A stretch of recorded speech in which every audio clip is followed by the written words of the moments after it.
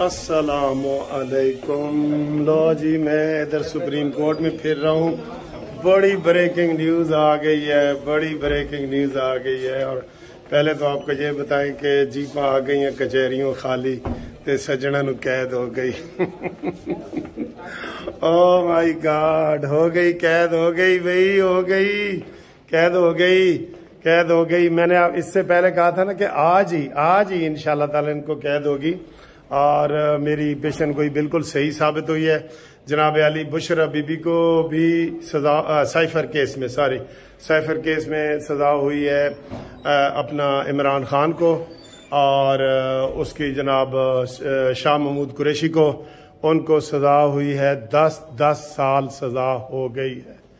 दस दस साल सजा हो गई है। बहुत बड़ी ब्रेकिंग न्यूज़ है, बहुत बड़ी ब्रेकिंग न्यूज़ है, जो आपको बता रहे हैं कल, क्योंकि रात 12 बजे तक अदालत ने ये केस चलते रहे और जिरा मुकम्मल हो गई थी।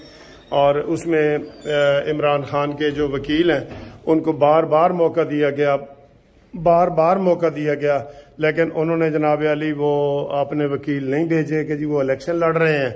और इसलिए फिर सरकारी वकील मुकर किए गए दो, एक अब्दुलरमान साहब और एक हज़रत यूनस हज़रत यूनस।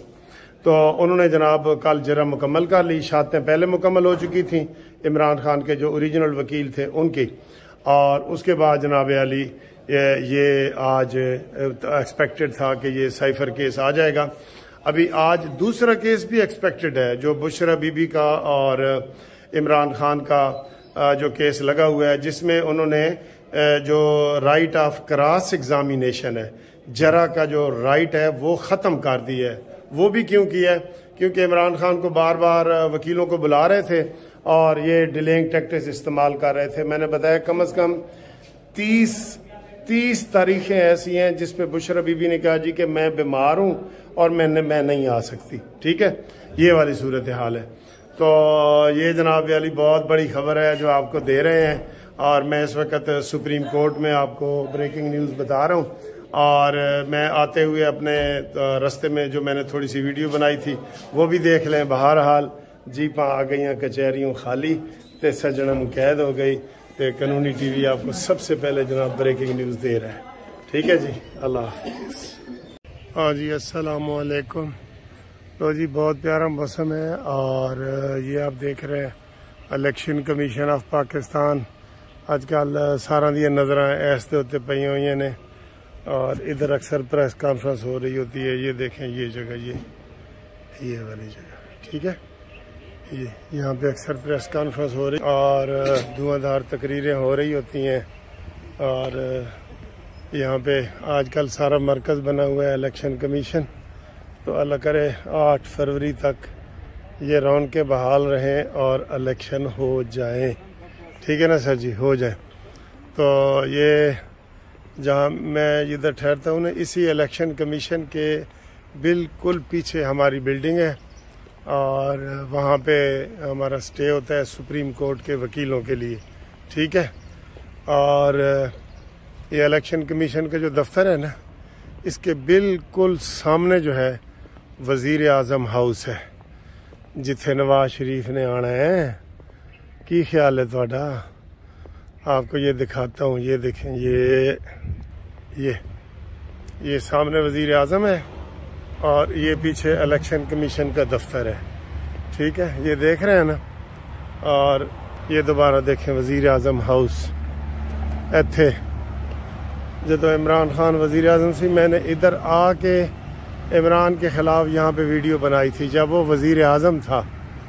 इधर ऊँचा ऊँचा में बोल रहा था तो लोग कह रहे थे, सर जी की गल है तुम डरते नहीं इमरान को मैं आखा यार डरना केड़ा है ठीक है ये आपको एक मैं बहुत मज़े का ये शारा दस्तूर है ये देखें ये और अब मैं सुप्रीम कोर्ट जा रहा हूँ ये इधर से शारा दस्तूर है खूबसूरत रोड है जी ये ये वाकई बड़ी खूबसूरत रोड है ठीक है और ये जनाब फुटपाथ है और ऐसे फुटपाथ क्रॉस करें तो सामने जनाब बयाली वजीर आजम हाउस है तो इतने हूँ 8 ਫਰਵਰੀ ਤੋਂ ਬਾਅਦ ਕਿੰਨੇ ਆਣਾ ਹੈ ਦੱਸੋ ਜੀ ਦੱਸੋ ਕਿੰਨੇ ਆਣਾ ਹੈ ਇਹ ਦੇਖੋ ਇੱਥੇ ਕੌਣ ਆਏਗਾ ਦੱਸੋ ਭਾਈ ਹੈ ਮੀਆਂ ਦੇ ਨਾਰੇ ਵਜਣੇ ਹੀ ਵਜਣੇ ਨੇ ਤੇ ਨਾਲ ਵਾਲੀ ਅਗਲੀ ਬਿਲਡਿੰਗ ਹੈ ਸੁਪਰੀਮ ਕੋਰਟ ਇਹ ਸਾਰੇ ਜਨਾਬ ਨਾਲ ਨਾਲ ਨੇ ਬਿਲਕੁਲ इलेक्शन कमीशन वजीर आजम हाउस फिर सुप्रीम कोर्ट फिर सुप्रीम कोर्ट से अगली बिल्डिंग है पार्लियामेंट हाउस तो ये सारे करीब करीब हैं हेलो तो